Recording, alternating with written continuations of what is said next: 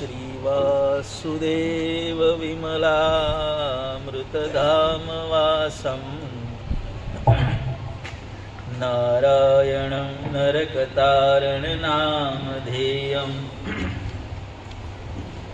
श्यामं सितं द्विभुजमेव चतुर्भुजं च मां भक्तिधर्मतनयं शरणं प्रपद्ये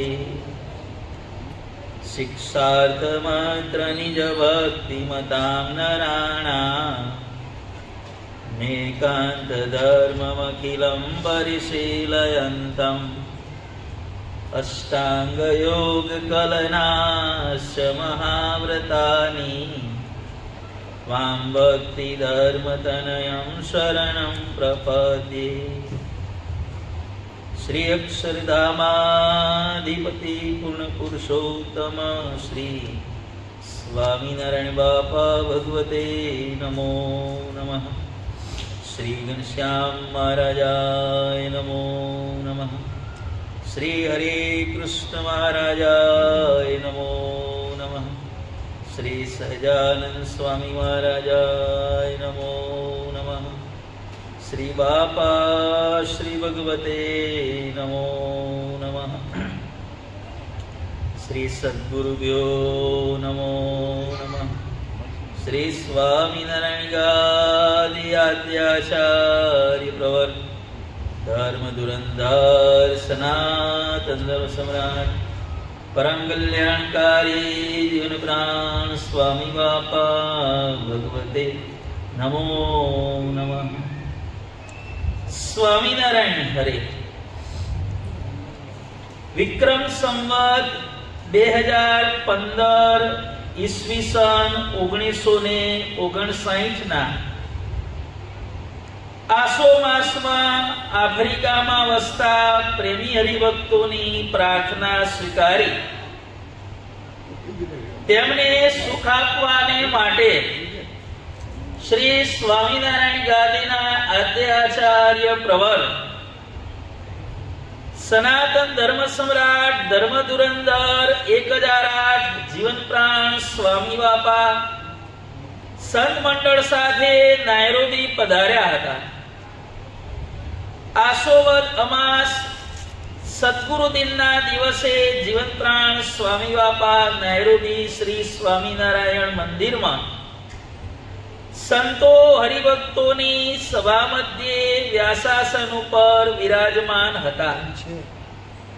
કંઠમાં સુગંધિમાન પુષ્પોના હાર તથા હસ્તકમળમાં ગજરા ધારણ કર્યા હતા.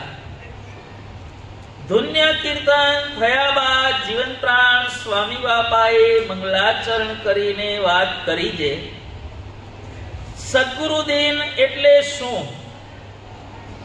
સદગુરુ દિન એટલે મુમુક્ષુઓને પોતાના જીવાત્માની કસોટી કરવાનો એક ઉત્તમ અવસર.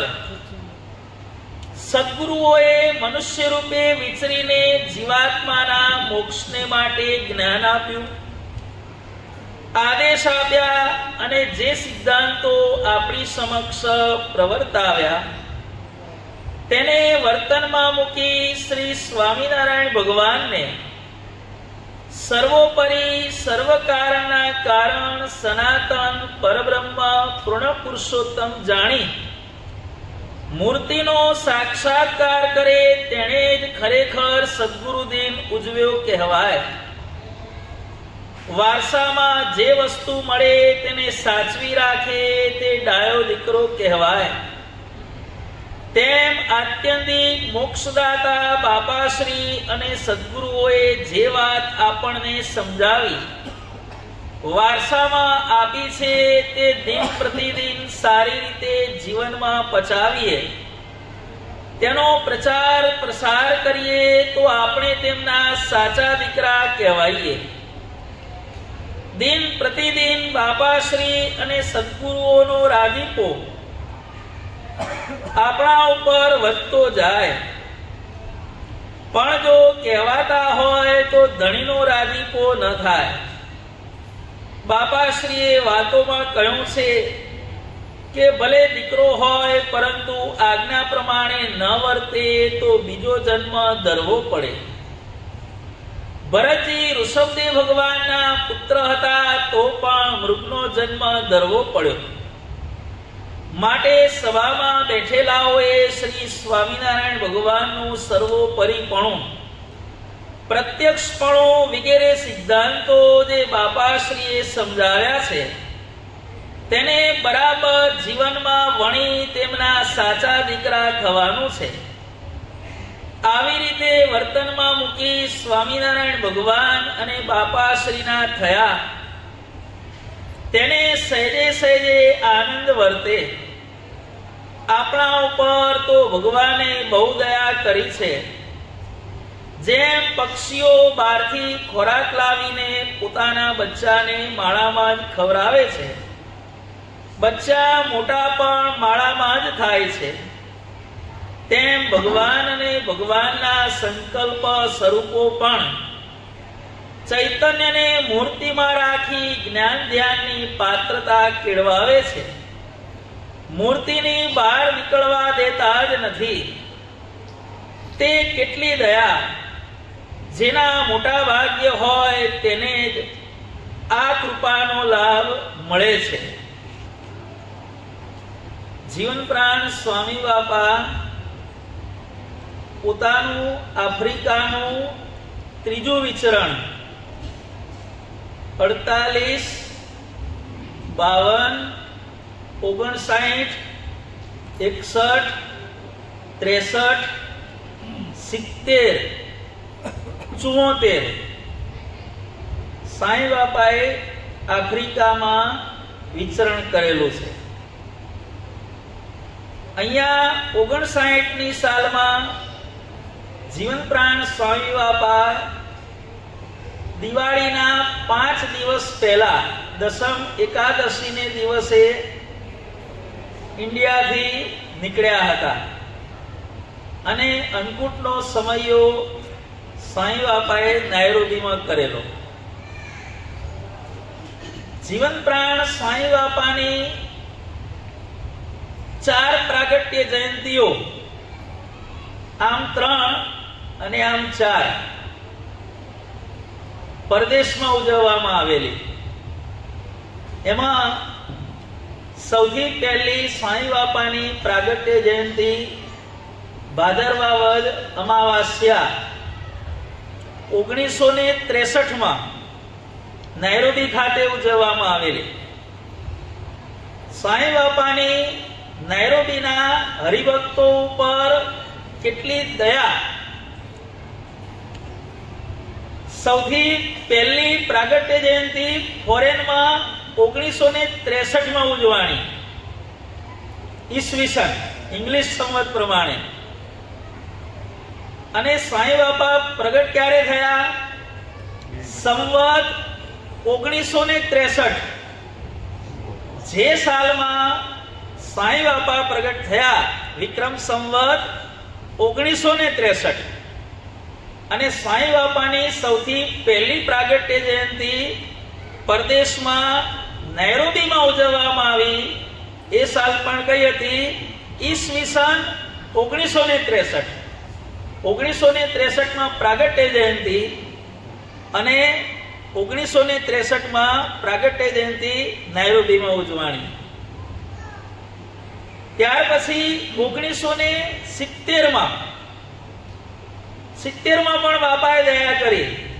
આફ્રિકા વાળાઓ ઉપર. બાપા ત્રેસઠની સાલમાં પ્રગટ થયા. અને સિત્તેરની સાલમાં બાપાને આ લોકમાં પ્રગટ થયે કેટલા વર્ષ થયા? ઓગણીસો ને સિત્તેર ઓગણીસો ને સાત, સિક્સટી થ્રી ત્રેસઠની સાલમાં પ્રગટ થયા તો ત્રેસઠમી પ્રાગટ્ય જયંતિ. અને ત્રેસઠની સાલની પ્રગટ્ય પ્રાગટ્ય જયંતિ. બંને બાપાએ ક્યાં ઉજવી? નાયરોબીમાં ઉજવી. હવે નાયરોબી વાળા ઉપર રાજી, તો લંડન ને અમેરિકા વાળા ઉપર રાજી નહીં ભાઈ. પૂર્વેના ભક્તોને પ્રભુ ચાહે. બાપાએ પોતાના સૌથી પહેલા ચરણ નાયરોબી પછી લંડન અને અમેરિકામાં ઓગણીસો ને સિત્તેરમી સાલમાં ચરણ મૂક્યા. એ સમયે સાંઈ બાપાની ઉંમર હતી ત્રેસઠ. ત્રેસઠની સાલમાં પ્રગટ થયા અને ત્રેસઠ વર્ષની ઉંમરે સાંઈ બાપા સૌથી પહેલી વાર લંડન અને અમેરિકા પધાર્યા. બે પ્રાગટ્ય જયંતિ સાંઈ બાપાની નૈરોબીમાં ઉજવાણી. ત્યાર પછી ચોતેરની સાલની અંદર સાંઈ બાપાની પ્રાગટ્ય જયંતિ લંડનમાં ઉજવાણી, સેવન્ટી ફોરની અંદર. અને સેવન્ટી નાઇનમાં જ્યારે સાંઈ બાપા સૌથી છેલ્લી વખત લંડન પધાર્યા, ત્યારે ઓરિજિનલી ભાદરવાની અમાસનો કાર્યક્રમ નૈરોબી ખાતે હતો. બાપાએ ભાદરવા સુદ સાતમના દિવસે લીલા સંકેલી. જો બાપાએ લીલા સંકેલી ન હોત, તો ભાદરવાની અમાસનો પ્રોગ્રામ નૈરોબી ખાતે કરવાનો હતો. એટલે લંડનના ભક્તોને સંકલ્પ થયો કે આપણે સાંઈ બાપાની પ્રાગટ્ય જયંતિ ભાદરવાની અમાસે જે આવે છે, એ સમય બાપા અહીંયા હાજર નથી. તો આપણે શ્રાવણ માસની અમાસને ભાદરવાની અમાસ તરીકે ગણી અને આપણે પ્રાગટ્ય જયંતિ ઉજવી લેવી. અને એ જ દિવસે બાપાએ અંતર ધ્યાન થયાનો સંકેત આપ્યો હતો. શ્રાવણ મહિનામાં આ સદગુરુ દિન ઉજવવાનો હતો. એના સમજો બે ચાર દિવસ પહેલા પીડીભાઈ લંડનમાં જાહેરાત કરવા ઊભા થયા આ રીતે આપણે ભાદરવાની અમાસ શ્રાવણ મહિનામાં ઉજવવાની છે. અને પછી સ્વામી બાપા આફ્રિકા પધારવાના છે. આટલું જ્યાં પીડીભાઈ બોલ્યા અને તરત જ સાંઈ બાપાએ પીડીભાઈને અટકાવ્યા. પીડી જેટલી વાત કરી, એટલું જ બોલ કે. જે ઉજવવાની વાત છે, એટલી વાત કર કે. અમે શ્રાવણ મહિનાની અમાસ કરી, લંડનનો પ્રોગ્રામ કરી, અમે આફ્રિકા જઈશું કે ઇન્ડિયા જઈશું? તને ખબર છે કે? ભરી સભામાં તમે બધાને યાદ હશે લંડન વાળાને ભરી સાંઈ બાપાએ આવી વાત કરી. કે અમે લંડનનો પ્રોગ્રામ પૂરો કરી અમે આફ્રિકા જઈશું કે ઇન્ડિયા જઈશું, અમારા પ્રોગ્રામની તને શું ખબર હોય કે આપણે જેટલી છે એટલી વાત કરો. ત્યારે બધા સમજ્યા નહીં કે હશે કે અને સાત દિવસ પછી બાપાએ લીલા સંકેલી, ત્યારે બધાને યાદ આવ્યું કે સાંઈ બાપા એમ કહેતા હતા કે લંડનનો પ્રોગ્રામ પૂરો કરી અમે આફ્રિકા જઈશું, ઇન્ડિયા જઈશું તમને બધાને શું ખબર હોય? અમારા પ્રોગ્રામની અમને ખબર હોય. બાપાએ ભરી સભામાં એ બધો સંકેત આપ્યો હતો. આ પ્રમાણે બે પ્રાગટ્ય જયંતિઓ નૈરોબીમાં અને બે પ્રાગટ્ય જયંતિઓ લંડનમાં ઉજવાણી. પરદેશમાં ચાર, ભાદરવાની અમાસ ચાર વખત થઈ. સદગુરુદીનની વાત થાય છે. આપણા જીવન પ્રાણ સ્વામી બાપાએ સદગુરુદીનની ઉજવણીની શરૂઆત કયા કારણસરથી કરી? કયા સંજોગોમાં કરી? ક્યાં કરી? એ વસ્તુ જાણવી એ બહુ જ જરૂરી છે. આપણે સૌ જાણીએ છીએ કે આપણા જીવન પ્રાણ સ્વામી બાપાના જીવનમાં આપણા સદગુરુ બાપા એમના ગુરુ તરીકે તો હતા જ. પણ પોતાના જીવનમાં સદગુરુ બાપા જેટલું મહત્વ આપણા સ્વામી બાપાએ વૃંદાવન સ્વામીને પણ આપેલું. જેમ આ લોકની અંદર કોઈ વ્યક્તિ હોય અને એક તો એને જન્મ આપનારી માતા, એ તો માતા તુલ્ય હોય. પણ બીજી કોઈક એવી સ્ત્રી હોય કે એનું પાલન પોષણ એની માતા તરીકે જ એણે કર્યું હોય. માસી હોય, કાકી હોય, ત્યારે વ્યક્તિ શું કે, આ મારી બીજી માં છે. જીવન પ્રાણ સ્વામી બાપાના જીવનમાં ઈશ્વર બાપા અને વૃંદાવન સ્વામી બંનેનું મહત્વ સ્વામી બાપાએ સરખું રાખ્યું છે. જીવન પ્રાણ સ્વામી બાપાના આપણે આશીર્વાદ સાંભળીએ, ત્યારે આપણને ખ્યાલ આવે. સ્વામી બાપા જ્યારે જ્યારે બોલે છે, ત્યારે એમ કે છે કે બાપાશ્રી અને સદગુરુ ઓ, બહુવચનમાં સાંઈ બાપા બોલે છે.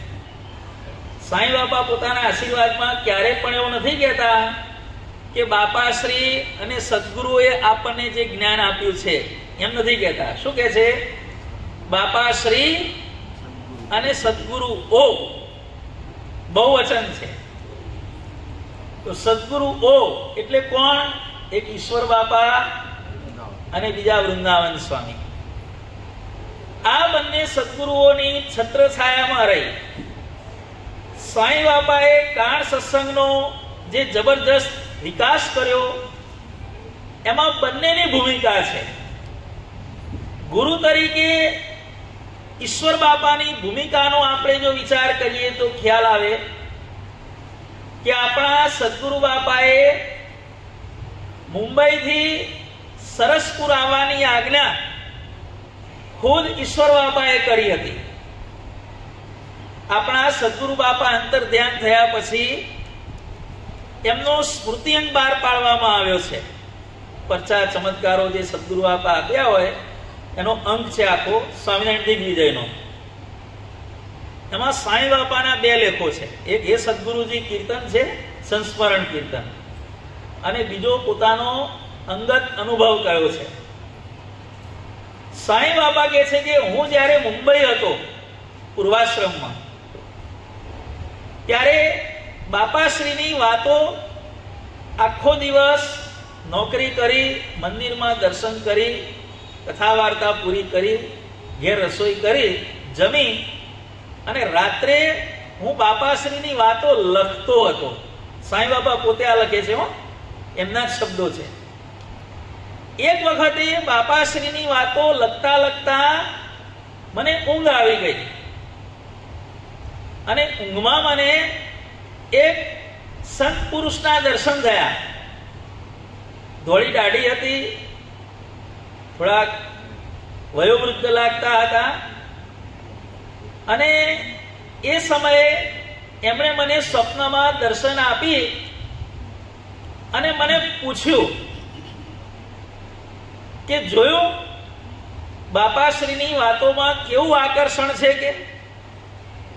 કેવી સરસ ઊંઘ આવી ગઈ. તમે અમને ઓળખો છો? ત્યારે સ્વામી બાપાએ ના પાડી, લૌકિક રીતે. કે ના. ત્યારે આપણા સદગુરુ બાપા કે છે કે તમે સરસપુર આવજો કે. અમદાવાદ, સરસપુરમાં આપણો મેળાપ થશે. એમ કહી મને આદેશ આપી અને સદગુરુ અંતર ધ્યાન થઈ ગયા. અને પછી હું તત્કાલ અમદાવાદ આવવા નીકળ્યો. અને બધી જે વાત હતી એ થઈ અને ત્યારથી મને સદગુરુએ ભાગવતી દીક્ષા આપી અને મને સેવામાં રાખ્યો. સાંઈ બાપાને અમદાવાદ સંત થવા બોલાવનાર, પ્રેરણા આપનાર આપણા સદગુરુ બાપા. પરદેશ જવાની પ્રેરણા કરનાર સદગુરુ બાપા. સાંઈ બાપા કઈ પ્રેમી હરિભક્તોની પ્રાર્થનાનો સ્વીકાર કરી અને પરદેશ પધારવાનું શરૂ નથી કર્યું. પ્રેમી ભક્તો તો કાલે આમય કે કાલે આમય કે. પ્રેમી ભક્તોનું ઠેકાણો શું ભાઈ? કોક દાડો હવડા રસ્તે ચડાવે કોક દાડો આડા પાટે ચડાવે. પ્રેમી ભક્તોનો બહુ ભરોસો નહીં.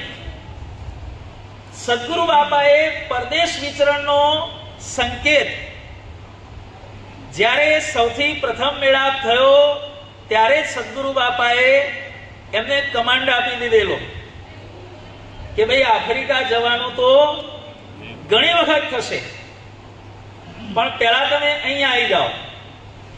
એટલે પરદેશનું વિચરણ પણ સદગુરુ બાપાની આજ્ઞાથી.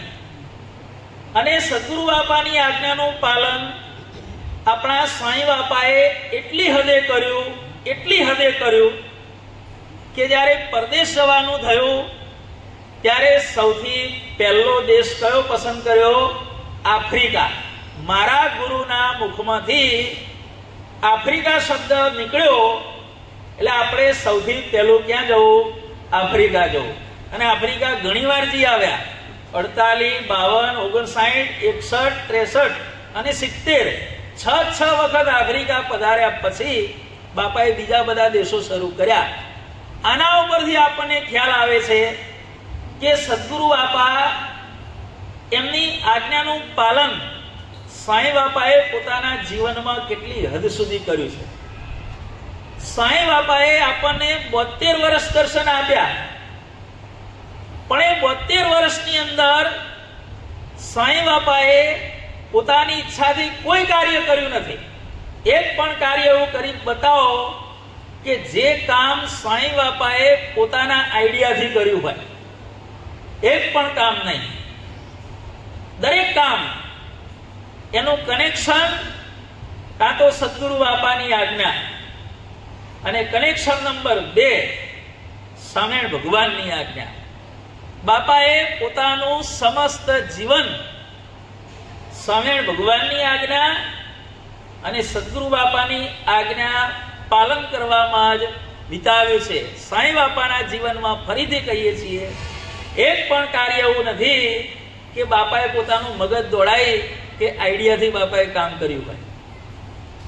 સાધુ થવા કોની આજ્ઞાથી આવ્યા? ઈશ્વર બાપાની આજ્ઞાથી. સાધુ કોની આજ્ઞાથી થયા? ઈશ્વર બાપાની આજ્ઞાથી. સત્સંગ પ્રચારનું કામ ઈશ્વર બાપાની આજ્ઞાથી. ગ્રંથો પ્રકાશન ઈશ્વર બાપાની આજ્ઞાથી. મણિનગરમાં ઘનશ્યામ મહારાજ પધરાવ્યા ઈશ્વર બાપાની આજ્ઞાથી. સિંહાસનમાં બાપાશ્રીની મૂર્તિઓ પધરાવી ઈશ્વર બાપાની આજ્ઞાથી. ગમે તેવા વિરોધ વંટોળની વચ્ચે પણ સાંઈ બાપા મક્કમ રહ્યા ઈશ્વર બાપાની આજ્ઞાથી. જુઓ, પરદેશ પધારવાનું શરૂ કર્યું. કોની આજ્ઞાથી? ઈશ્વર બાપાની આજ્ઞાથી. સમેણ ગાંધીને મૂળ સ્વરૂપ આપવા માટે સાંઈ બાપા એકસઠ દાડા ધ્યાનમાં બેઠા. પોતાની સંકલ્પ બેસી ગયા. ના, ઘનશ્યામ મહારાજનો ઓર્ડર આવ્યો ભાઈ. અને ચિઠ્ઠીમાં બાપાએ ઊભું લખાણ લખ્યું, ઘનશ્યામ મહારાજના ઓર્ડરથી સાંઈ બાપા ધ્યાનમાં બેઠા. ઘનશ્યામ મહારાજના ઓર્ડરથી સાંઈ બાપાએ ધ્યાન પૂરું કર્યું. ઘનશ્યામ મહારાજના ઓર્ડરથી સાંઈ બાપા રૂમની બહાર આવ્યા. અને ઘનશ્યામ મહારાજના ઓર્ડરથી સાંઈ બાપાએ સ્વામિનારાયણ ગાદીને મૂળ સ્વરૂપ આપ્યું. સાંઈ બાપાના દરેક કાર્યનું કનેક્શન કાં તો સ્વામિનારાયણ ભગવાનની આજ્ઞામાં હરિજ્ઞાન કાવ્યના કીર્તનો બનાયા. કોના કહેવાથી બનાયા ભાઈ પોતાના સંકલ્પથી બનાવી દીધું પુસ્તક? હે? કવિત્વ શક્તિ હતી ને જાતે જાતે બનાવી ના, પેલું ઈશ્વરાપાને બતાવ્યું, જો ગુરુદેવ, આ ત્રણ છે, તમને યોગ્ય લાગે તો પછી પ્રોગ્રામ આપણે આગળ વધારીએ. ત્રણ કીર્તનો બનાયા અને સદગુરુબાઈ કીધું, આવા સો કીર્તન તારે બનાવવાના છે. અને સો કીર્તન બનાવવાની આજ્ઞા થઈ અને સાંઈ બાપાએ લગભગ એકસો ને ચુઓતેર કીર્તનો બનાવી હરિજ્ઞાનામૃત કાવ્ય ગ્રંથ બનાવ્યો. સાંઈ બાપાના જીવનમાં સદગુરુ બાપાની ભૂમિકા આટલી જબરજસ્ત છે. જેટલી ભૂમિકા સદગુરુ બાપાની છે, એટલી જ ભૂમિકા સદગુરુ શ્રી વૃંદાવન દાદી સ્વામીની છે. પંચમૂર્તિ સાંઈ બાપાએ બનાવ્યા. અને એમાં સાંઈ બાપાએ વૃંદાવન સ્વામીને સ્થાન આપ્યું. શા માટે આપ્યું? આપણે હમણાં સમજીએ. કોઈ કે, કેમ બદરાયા આમ બદરાયા સભાના મૂર્તિ જુઓ. જે અક્ષરધામની સભાના મૂર્તિ સિંહાસનમાં પધરાયા છે, એમાં પણ સાંઈ બાપાએ વૃંદાવન સ્વામીની વેલ્યુએશન કેટલી કરી? નંદ પદવીના સંતો અને સ્વામિણ ગાદીના આચાર્યો. આ બધાને કાઢી નાખો, તો એના સિવાયના એક સંત મહાત્મા બચે છે. કોણ? નંદ પદવીના સંત ન હોય અને સ્વામિનારાયણ ગાંધીના આચાર્ય ન હોય અને તેમ છતાં પણ એમને સભાના મૂર્તિમાં સ્થાન આપવામાં આવ્યું હોય, આવા વિશ્વના એકમાત્ર સંત કોણ છે? સદગુરુ શ્રી વૃંદાવનદાસજી સ્વામી. પોતે લૌકિક રીતે નંદપદવીના સંતોમાં નથી આવતા. કે આપણી ગુરુ પરંપરામાં વૃંદાવન સ્વામી આવતા નથી. અને તેમ છતાં પણ ઇવન ધો સ્વામી બાપાએ એમને સભામાં સ્થાન આપ્યું. કેમ આપ્યું?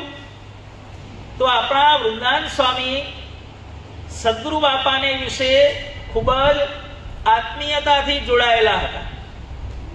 ઈશ્વર બાપાના પછી બાપાશ્રીના ટેકામાં રહેલા સંતોનું નામ લખવું હોય તો પહેલું નામ તો ઈશ્વર બાપાનું આવે, એમાં કોઈ શંકાને સ્થાન નથી. પણ ઈશ્વર બાપા પછી જો તત્કાલ કોઈનું નામ લખવું હોય, તો કોનું લખાય ભાઈ? વૃંદાન સ્વામીનું. બીજા બધા નામો પછી આવે. પેલા બે સદગુરુનું નામ સૌથી પહેલું આવે. વૃંદાન સ્વામીએ સાંઈ બાપાના જીવનમાં કઈ ભૂમિકા ભજવી? તો આપણો અત્યારે જે સ્વામિનારાયણ ગાંધીનો જે આપણો સત્સંગ છે એ સત્સંગની અંદર જે આ બાલ અને નળકંઠાના જે બધા ઠક્કરો છે, આપણા મણિનગર સ્વામિનારાયણ ગાદી સંસ્થાનની અંદર જેટલા પણ ઠક્કર સત્સંગીઓ છે, આ બાજુ ઉપર દળ કે ભાઈ એ બાજુના સત્સંગીઓ હોય, કે આ બાજુ ધોળકા રનોડા બાજુના હોય, કે બેની વચ્ચે બાવળા બાજુના હોય, બાવળા ભાટ ડોગલીપુરા બાજુના આખો અત્યારનો જે ઠક્કર સમાજ, આપણો જે સત્સંગી છે, એ બધો એના ઉપર હોલ્ડ કોનો હતો? વૃંદાન સ્વાઈનો હોલ્ડ હતો. ત્યાર પછી કરજીસણ આખો સત્સંગ વૃંદાન સ્વાઈના હાથમાં હતો. કડીનો સત્સંગ વૃંદાન સ્વામીના હાથમાં હતો. જ્યારે આચાર્યશ્રીએ વચનનો ભંગ કર્યો, સમાધાનની વાત ચાલી. આચાર્ય જુઠ્ઠું બોલ્યા. વૃંદાન સ્વામીને આઘાત લાગ્યો. ત્યારે વૃંદાન સ્વામીએ વિચાર કર્યો કે આ મારા શિષ્ય સમુદાયના આત્યંતિક મોક્ષનું શું થશે? દરેક ગુરુને ટેન્શન હોય, સાચા ગુરુ હોય તો, હા. ખોટા ગુરુ હોય જેનું જે થવાનું થાય. મારા શિષ્ય સમુદાયનું શું? વચંદ્રોના આઘાત પછી વૃંદાન સ્વામી કરજીસણને મુખાસણ પધાર્યા.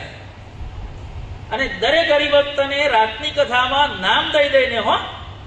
ભાઈ ગુજે, ભાઈ પ્રવીણભાઈ, ભાઈ ભંડેરી, હે દરેક હિરાણી દરેકના નામ દઈ દઈને કીધું કે તમારે બધાએ મારા પછી, હવે હું ફરીથી આવવાનો નથી. અને મારી આવરદા પણ જાજી નથી. વૃંદાન સાહેબ ચોખ્ખી વાત કરી. હવે મારા પછી તમારે મુક્ત જીવન દાદી સ્વામીની આજ્ઞામાં રહેવાનું છે. બોલો ગુજે તારે શું કરવાનું છે? તારે શું કરવાનું છે? તમારે શું કરવાનું છે? તમારે શું કરવાનું છે? દરેકને નામ દઈ દઈ અને વૃંદાન સ્વામીએ સાંઈ બાપાની આજ્ઞામાં રહેવાની વાત કરી. એ સમયે વૃંદાન સ્વામીની સાથે પચીસથી ત્રીસ સંતો વધાર્યા હતા. વૃંદાન સ્વામીના સંતો ઓછા નહોતા બધા પચીસથી ત્રીસ તો ભેગા ફરતા હતા. અમદાવાદમાં બીજા દસ, પંદર, વીસ રહેતા હશે ને. ચાલીસથી પચાસ સંતો હતા. ત્યારે કોઈ હશે હરિભક્ત એને પૂછ્યું કે સ્વામી, આ તમારા ચાલી પચાસ સાધુમાંથી કોઈ બતાવતા નથી? અને આ ઈશ્વર બાપાના સંતને કેમ બતાવો છો? કોઈ કે પૂછ્યું? સામાન્ય. વ્યવહારિક છે. ત્યારે વૃંદાન સ્વામીએ કીધું કે મોટા હોય, એ જ મોટા હોય. તમારે જો આત્યંતિક મોક્ષ જોઈતો હોય. આ જન્મે મહારાજની મૂર્તિના સુખે સુખ્યા થવું હોય. તો અત્યારે આખા વિશ્વની અંદર આ કામ કરવા માટે એક મુક્ત જીવનદાસજી સ્વામી સમર્થ છે કે? હે? એ તો એન્જિન છે, અમે ડબાજ છીએ. કારણ કે પેલા ઈશ્વર બાપા એન્જિન હતા. એમના પછી સ્વામી બાપા એન્જિન થયા. વૃંદાન સ્વામી અમે તો ડબ્બા જેવા છીએ કે. એન્જિન લઈ જાય, ત્યાં અમારે જવાનું કે. જો આત્યંતિક મોક્ષ જોઈતો હોય, તો મુક્ત જીવનદાસજી સ્વામી. અને મોક્ષ ન જોઈતો હોય, તો આખી દુનિયા પડી છે. જ્યાં તમારે કુટી ખાવું હોય, વૃંદાન સ્વામી ચોખ્ખું કીધું, તમારે કુટી ખાવ કે. ત્યારે બધાને થયું કે વૃંદાન સ્વામી ખરેખર સાચી વાત કે છે. એટલે કરજીસણનો આખો સત્સંગ વૃંદાન સ્વામીએ કોને સોંપ્યો? સાંઈ બાપાને સોંપ્યો. પછી વૃંદાન સ્વામી મુખાસણ પધાર્યા. મુખાસણ આખું સદગુરુ બાપાનું કહેવાતું હતું ભાઈ. આખું મુખાસણો સદગુરુ બાપાનું કહેવાતું. અને એમાંથી જેને જેને વૃંદાન સ્વામીના વચનમાં વિશ્વાસ આવ્યો, એ મુખાસણ વાળા બધા મણિનગરમાં આવ્યા અને જે જે મુખાસણ વાળાઓને વૃંદાન સ્વામીના વચનમાં વિશ્વાસ ના આવ્યો, એ બધા ચેલાઓ તો ઈશ્વરપ્પાના જ હતા. પણ એ બધા કાલુપુરમાં જતા રહ્યા. મુખાસણમાં મૂળ બધાના તમે ગુરુ જુઓ, જેને સ્વાઈ બાપામાં વિશ્વાસ આવ્યો વૃંદાન સ્વામીના વચને, એ બધા મણિનગર વાળા થઈ ગયા. અને જેને વિશ્વાસ ના આવ્યો કે ભાઈ સંસ્થા છોડી જવાય નહીં, એ તો જુદું કર્યું કહેવાય, આપણે જૂનું છોડાય નહીં. એવી માન્યતા હતી કે સદગુરુ બાપાના બીજા શિષ્યો હતા, હરિનારાયણદાસજીને બીજા બે ચાર સાધુ હતા, એમના ત્યાં બધા ગોઠવાઈ ગયા. મૂળ ઈશ્વર બાપાનું મુખાસણ આખું હતું.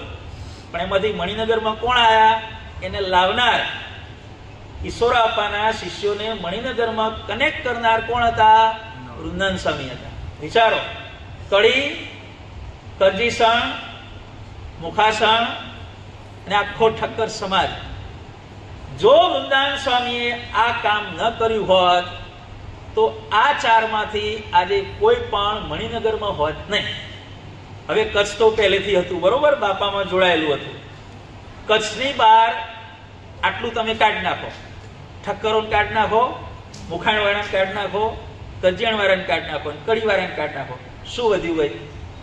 હે? મણિનગર મંદિર સિવાય કંઈ વધ્યું નહીં. પંચમાલ તો પછી થયું ભાઈ. પંચમાલય નતું એ વખતે શું વધ્યું ભાઈ? કંઈ નહીં. એટલે આ બધો જે પોતાનો શિષ્ય સમુદાય હતો ને, એ વૃંદાવન સ્વામીએ સાંઈ બાપામાં જોડ્યો. સાચા સત્પુરુષ હોય, એ પોતાના શિષ્યોને ભગવાનમાં અને સાચા સત્પુરુષમાં જોડે એ વસ્તુ વૃંદાન સ્વામીએ પોતાના જીવનમાં સાર્થક કરી બતાવી. આ થઈ આપણા સ્વામી બાપાના જીવનમાં. ઈશ્વર બાપાની ભૂમિકા કે જેમણે સ્વામી બાપાને ભવિષ્યમાં આવનારી વિકટ પરિસ્થિતિઓમાં સત્સંગ પ્રચાર કરવા માટે કમર કસાવી આપણા સદગુરુ બાપાએ ચોખ્ખું કીધું, સિદ્ધાંત પ્રચાર કી प्रतिज्ञा ले ले गुरु ने कहा हमारे साथ में नहीं रहेंगे त्यागी ओ बाप रे કોઈ નહીં રે કોઈ નહીં રે કે એટલા માટે તું સાધુ કરી બતાવો કે તારી જોડે એક તો જોઈશે ને કે साथ में नहीं रहेंगे त्यागी ગ્રહસ્થ સંગ હે તેરે હરિભક્તો તારા ભેગા રહેશે કે બાકી સાધુ ઉપર બહુ વિશ્વાસ ન રાખતો કે સાધુ તો આમે ઢળે ને આમે ઢળે કે સાધુનો કોઈ ભરોસો નહીં કે હે? ગાડરિયો પ્રવાહ કહેવાય. એક બોલે એટલે પાછળ બધું લાંબુ લાંબુ લાંબુ બધું થતું જાય કે એટલે જેણે સ્વામી બાપાને સજ્જ કર્યા, ભવિષ્યમાં આવનારી પરિસ્થિતિઓથી વાકેફ કરી અને એની સામે ટક્કર લેવા માટે સદગુરુ બાપાએ સાંઈ બાપાને પહેલેથી બળના વચનો કયા. એટલું જ નહીં. સદગુરુ બાપા અંતર ધ્યાન થયા પછી સાંઈ બાપા લૌકિક રીતે બહુ નિરાશ થઈ ગયા. ત્યારે પણ સદગુરુ બાપા કડી મંદિરમાં લાભ પાંચમના દિવસે સાંઈ બાપાને દર્શન દઈ અને પોતાનું કર્તવ્ય બજાવવા માટે આજ્ઞા કરવા માટે આવ્યા. અંતર ધ્યાન થયા પછી પાંચ દિવસમાં સદગુરુ બાપાએ દર્શન આપ્યા. એ ભૂમિકા સદગુરુ બાપાની. અને વૃંદાન સ્વામીની ભૂમિકા શું? આજીવન ઈશ્વર બાપાના સપોર્ટમાં. તમે જો લૌકિક રીતે નંબર વન અને નંબર ટુ કોઈ પણ સંસ્થામાં હોય ને, પોલિટિક્સમાં, રાજકારણમાં જુઓ, ધાર્મિક સંસ્થામાં જુઓ, સમાજમાં જુઓ કે સત્સંગીઓના મંડળમાં જુઓ, નંબર વન અને નંબર ટુ વચ્ચે કોદાળો મનમેળ ના હોય. હે? બેના ગ્રુપ અલગ અલગ હોય. નંબર વન હોય એ નંબર ટુને પાડી દેવા મતતા હોય. અને નંબર ટુ ને એમ હું ક્યારે નંબર વન બનવું? એ પક્ષે જ ખોતરતા હોય બધું એ પણ આખા સત્સંગમાં ઈશ્વર આપા નંબર વન અને વૃંદાન સ્વામી નંબર ટુ અને તેમ છતાં આજીવન લોયલ્ટી વફાદાર. એટલું જ નહીં. ઈશ્વર બાપાના અંતર ધ્યાન થયા પછી પોતાને માનનારા જે હરિભક્તો હતા, એ બધાને ઈશ્વર બાપાના શિષ્ય આપણા સાંઈ બાપાને સોંપ્યા. સાંઈ બાપા, ઈશ્વર બાપા અને વૃંદાન સ્વામી. વૃંદાન સ્વામી અને ઈશ્વર બાપા કંઈ ગુરુભાઈ નહોતા. એક વસ્તુ સમજી લો. વૃંદાન સ્વામીના ગુરુ એ જુદા હતા. માધવજીવન દાદી સ્વામી હતા. નિગુણ બાપા એ આપણા ઈશ્વર બાપાના ગુરુ હતા. બે, ત્રણ પેઢી આગળ થતું હતું. એટલે ગુરુભાઈનો સંબંધ પણ નહોતો. પણ વૃંદાન સ્વામીએ જોયું કે મહારાજની મૂર્તિની પ્રાપ્તિ ક્યાં થઈ શકે એમ છે. અને આ બધો સત્સંગ સાંઈ બાપાને આપણા વૃંદાન સ્વામીએ સોંપ્યો. કળી, કરજીસણ, મુખાસણ અને બાલ નળકંઠો આ બધી પ્રોપર્ટી ઓરિજિનલી વૃંદાન સ્વામીની છે એ બધી પ્રોપર્ટી સાંઈ બાપાને મળી અને વૃંદાન સ્વામી કાર્તક મહિનાની અમાસે અંતર્ધ્યાન થયા, ત્યારે સાંઈ બાપાએ વિચાર કર્યો કે હવે મારી જવાબદારી બે પક્ષમાં થઈ, વધી. પેલા જવાબદારી માત્ર કચ્છ પૂરતી જ હતી. આપણે સાંઈ બાપાના જીવનમાં શરૂઆતમાં જોઈએ, તો સાંઈ બાપા મણિનગર કડીને કચ્છ, મણિનગર કડીને કચ્છ, આના સિવાય બીજો કોઈ એરિયા ખાસ હતો નહીં. પરંતુ વૃંદાન સ્વામી અંતર ધ્યાન થયા પછી આ બાલ નળકંઠો કે આ કરજીસણ મુખાસણ કે કડી બધા હરિભક્તો મણિનગરના આશ્રિત થયા, બાપામાં જોડાયેલા હતા. પણ ખાસ એ બાજુ બાપાને લક્ષ આપવાનું હતું નહીં, કારણ કે સદગુરુ બાપાને વૃંદાન સ્વામી વારંવાર એ વિસ્તારમાં જતા આપણે સૌ જાણીએ છીએ કે કચ્છમાં સાંઈ બાપા આવતા વારંવાર અને ઈશ્વર બાપાને વૃંદાન સ્વામી એ બાજુ વિચરણ કરતા હતા. આખું એક સમજૂતી થયેલી હતી એક પ્રકારની ભાઈ તમારે એ કરવાનું, અમે એ કરીશું. પણ બંને સદગુરુ અંતર ધ્યાન થયા, એટલે કચ્છમાં તો બાપા આવતા હતા. પરંતુ પેલી બાજુનો જે સત્સંગ સમુદાય હતો, એ બધોય મણિનગરમાં જોડાયેલો રહે, રેગ્યુલર દર્શન કરવા માટે આવે, એના માટે સાંઈ બાપાએ કંઈક પ્લાનિંગ કરવાનું નક્કી કર્યું. અને એ સાંઈ બાપાએ જે પ્લાનિંગ કર્યું એના મનોમંથનના ફળ સ્વરૂપે શેની શરૂઆત થઈ? સદગુરુદેવની શરૂઆત થઈ. સાંઈ બાપાએ વિચાર કર્યો કે મારા ગુરુ ઈશ્વર ચરણદાદી સ્વામી એ અમાસના દિવસે અંતર્ધ્યાન થયા. આસોવદ અમાસ, દિવાળીને દિવસે. વૃંદાન સ્વામી કાર્તક મહિનાની અમાસે અંતર્ધ્યાન થયા. અને વૃંદાન સ્વામી જેવા કાર્તક મહિનાની અમાસે અંતર્ધ્યાન થયા, એના નેક્સ્ટ માક્ષર મહિનાની અમાસે સાંઈ બાપાએ મણિનગરમાં સદગુરુદીન શરૂ કર્યું. વૃંદાન સ્વામી અંતર ધ્યાન થયા પછી એક મહિને નેક્સ્ટ અમાસે સાંઈ બાપાએ સદગુરુદીન શરૂ કર્યો અને આજ દિવસ સુધી ચાલુ છે. માક્ષર મહિનો, જુઓ ભાઈ. વચનામૃતની શરૂઆત માક્ષર મહિનાથી થઈ. પહેલું વચનામૃત કઈ તિથિનું છે? માક્ષર સુધી ચોથ. બરોબર ને? ગઢડા પ્રથમ પ્રકરણનું પહેલું. વતનાવની શરૂઆત માક્ષર મહિનાથી થઈ. સદગુરુ દિનની શરૂઆત પણ માક્ષર મહિનાથી થઈ. સામ્યતા છે. જ્ઞાન યજ્ઞ અને ધ્યાન યજ્ઞ. બંનેની શરૂઆત જ્ઞાન સાંભળવું અને એને પ્રેક્ટિકલી અમલમાં મૂકવું. ધ્યાન. સાંઈ બાપાએ આ રીતે મણિનગરમાં સદગુરુ દિનની ઉજવણીની શરૂઆત આજકાલ કરતા એને એસી વર્ષ પૂરા થયા ગયા માક્ષર મહિનામાં. એક્યાસી વર્ષથી મણિનગર સ્વામિનારાયણ ગાદી સંસ્થાનમાં સદગુરુ દિનની ઉજવણી કરવામાં આવે છે. અને આપણો જે સ્વામિનારાયણ ગાદી સંસ્થાનનો વિકાસ થયો અને એની, એના માટે સ્વામી બાપાએ જે કંઈ એક્ટિવિટીઓ કરી બધીએ સંસ્થાના વિકાસ માટે સ્વામી બાપાએ જે જે પ્રવૃત્તિઓ શરૂ કરી એમાં જો સૌથી પહેલો નંબર કોઈ એક્ટિવિટીને આપવો હોય, તો એક્ટિવિટી કઈ છે? આ સદગુરુ ઉજવણી. આમાં સુધવાતી જ ન હોય એક વિચાર કરો. તો આટલો સભાનો સમૂહ બધાને કથા વાર્તા કરી જ્ઞાન આપવાનું, ધ્યાનના નિયમો આપવાના, અથવા તો રેગ્યુલર દર્શન. કોઈ વ્યક્તિ આખો મહિનો ભલે મંદિરમાં દર્શન કરવા ના આવે, પણ અમાસના દાડે તો આવે. સાંઈ બાપાએ આખા સંસ્થાનો જે વિકાસ, એનો આખો જે ઉપક્રમ કર્યો, એમાં સૌથી પહેલો નંબર કોનો છે બંડેરી સદગુરુદીનનો. જો સદગુરુદીન ઉજવાતો ન હોત મણિનગર સ્વામિનારાયણ ગાંધી સંસ્થાનમાં, તો આજે જે પ્રગતિ થઈ છે, એ પ્રગતિ થઈ હોત નહીં. શું થાત? એ તમે તમારી રીતે વિચારી લેજો. જો સદગુરુ ઉજવાતો ન હોત તો પ્રશ્નાર્થ ચિહ્ન છે. તો શું થાત એ તમારે બધાને વિચારી લેવાનું. એટલે સ્વામી બાપાએ પોતાના બંને સદગુરુઓ, કીર્તનો પણ જુઓ ભાઈ, બાર બાર મહિને આવે, તૃતીયા દિન એમાં શું છે? સદગુરુઓની થાય યાદ. સદગુરુની નહીં, સદગુરુઓ. ઘનશ્યામ બાપાને સદગુરુઓ, જીલે નિર્મળ સરિતાની માયરે જલજીણી એકાદશીનું કીર્તન છે, એમાં પણ સાંઈ બાપાએ સદગુરુઓ. હરિજ્ઞાન કાવ્ય સાંઈ બાપાએ બનાવ્યું. એમાં સાંઈ બાપા ચાર વિભૂતિઓને વંદન કરે છે. શરૂઆતમાં જે છે ને, વૃષાત્મજમ, અહમ વંદે, સંસ્કૃતના શ્લોકો છે. પહેલા પ્રણામ સાંઈ બાપાએ સ્વામિણ ભગવાનને કર્યા. બીજા પ્રણામ બાપાશ્રીને કર્યા. ત્રીજા પ્રણામ સદગુરુ બાપાને કર્યા.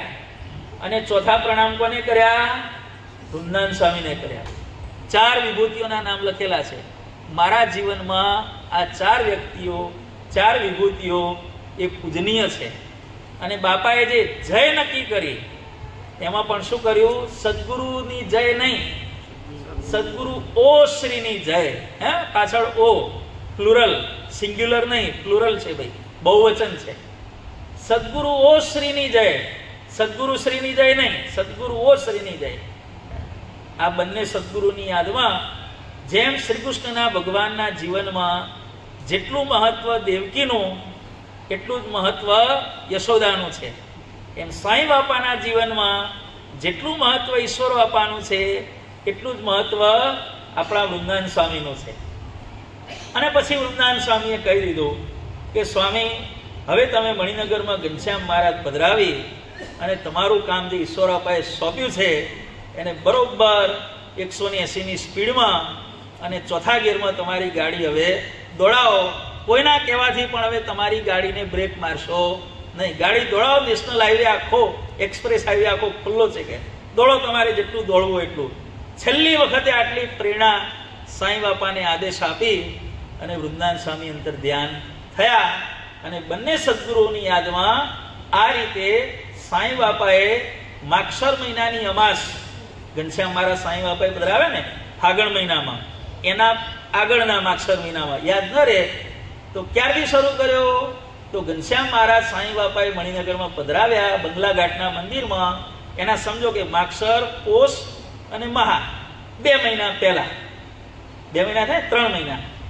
માક્ષર મહિનાનો, પછી પોષ મહિનો, આખો મા મહિનો. બે મહિના પહેલા સાંઈ બાપાએ સદગુરુ શરૂઆત કરી. ઘનશ્યામ મહારાજ બાપાએ પછી પધરાવ્યા.